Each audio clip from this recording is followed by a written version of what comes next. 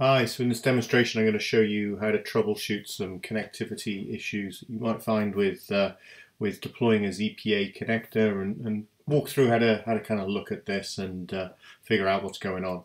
So um, I've got a newly provisioned connector. I'm just going to SSH onto it. Uh, 192.168.1.24 um, and you know it's all up it's all up and running just got booted up, got a DHCP, IF uh, config minus A shows me uh, it's got an IP address of 24. Um, SM minus RN, I've got a route um, out to the internet. Uh, resolve.conf tells me that it's able to resolve uh, using the name server 192.168.1.2. So I've got connectivity out to the internet with a bit of luck. Uh, it's important that that resolver um, is able to resolve both the internet and my internal namespace because the connector needs to be able to talk to both the internet and obviously the applications you're going to access. Um, configurations do exist for um, you know, split brain DNS or, or where you've got uh, uh, dual, uh, dual horizon DNS, um, internal and external namespace being the same. So there's are configurations for that. I'm not going to cover that in this session. So the first thing we want to do is we want to be able to make sure that we can connect to the internet. So dig um, any.broker.prod.zpath.net. Um, that gives me um, the uh, broker redirects. Um, actually, from a connector standpoint, it really wants to be able to connect to co2br.prod.zpath.net. Um, this is from the this is uh, the connector out to the broker. Uh, it's going to give me a, a bunch of other things um, to resolve to.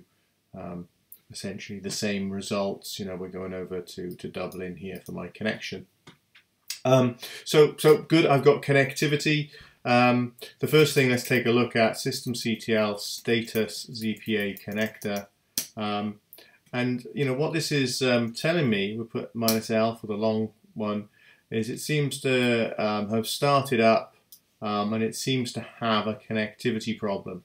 Now, personally, I know exactly why this connectivity problem exists. Um, and it's well worth looking at these logs before you start provisioning. It's, it's the health check that the connector process is going to go through on connection. But invariably we don't do this. We just drop the provisioning key on and think, hey, it's going to work. Um, and and let's, let's, let's go through that process and we'll come back to this in a second. Um, the reason why this is failing is because my firewall is doing some SSL inspection. But I want to um, run through a couple of other things before I get to this um, specific problem. Um, so let's take a look at the administration interface uh, and the connectors and we're going to go through and, and, actually provision a connector. I've got a bunch of things here but I'm going to add a new connector um, and we're going to use the um, a key, uh, sorry we're going to create a new provisioning key um, and the key is going to be signed by my intermediate um, um, um, connection. Uh, intermediate, that one. Um, and they're called server and client. Uh, we'll come on to and I'll show you the, the, the, the, chains in a second, but I'm using um, custom PKI on this. If you weren't using custom PKI, you'd have a, um, a, certificate issued by the um, connector intermediate certificate from, from Zscaler. Um, so I'm going to go ahead and I'm going to create a new connector group and this is going to be called uh, London, London, and we'll give it a location. Bizarrely, it's going to be called London. Um, United Kingdom, uh, there we go. Uh, very important that we fill all this data in um, because this is going to be used for some of the geolocation stuff we do later on. Um, so this is going to be London um, provisioning key, and we're going to say, hey, we can, we can have a hundred of these. You know, we're going to scale up to those at some point. We might add and take away. So a hundred uh, seems fine for me, but um, invariably this should be within your license limit. Um, and we're going to go across and save all of that. And this gives me the connector provisioning key. Um, I'm going to copy that to my clipboard and click done. Um, so we, have got all the provisioning keys here. Here's my London one. I can always come back in here and copy it. Um, it the signing certificate is the intermediate here. Um, let's just take a quick look at those um, uh, at those um, certificates, the enrollment certificates here. Um, here's my root CA. Uh, my root CA, you know, it's warning me here. It's coming up for, for expiration soon. Um, uh, and and here's my my two intermediates. My intermediate um, that's going to issue the serve the, the the connector certificates, and my intermediate that's going to issue the clients or my Zscaler apps. So it's worth understanding a bit about the the PKI that exists here, both in terms of the connectivity because client certificate authentication happens between the um, connector and the cloud, but also between the um, Zscaler app and the cloud as well. So PKI and understanding that trust relationship and certificate verification goes on um, to ensure we get that zero trust connectivity. Um, so those are my certificates um, that are that are in here that are issuing those certificates um, out to the clients and the connectors, and I've got my provisioning key. Now, invariably, what um, what a lot of people do um, is drop the connection uh, connector provisioning key straight in there. So let's take a look at um, uh, opt zscaler var directory. Um, and um, often what people do is just um, um, vi uh, slash opt zscaler uh, var slash provision underscore key um, and it won't write. So you know, it's important that when we're dropping these keys in there, we're doing it um, as the right user. So the first thing we need to do, um, and you can do this in a couple of different ways, um, you want to make sure that you sudo um, when you do the vi um, etc zscaler var slash provision underscore key because um, we want to be root when we're doing it because the permissions need to be there. So, so now I can input the key um, and I can write and quit that file. Ah, now I seem to have a problem with, with writing that, that file.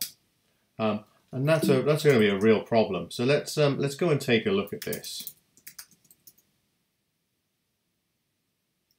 Um, cd opt zscaler var should be writable. And um, the var directory is owned by Zscaler, um, which is the uh, which is the user we are logged in as.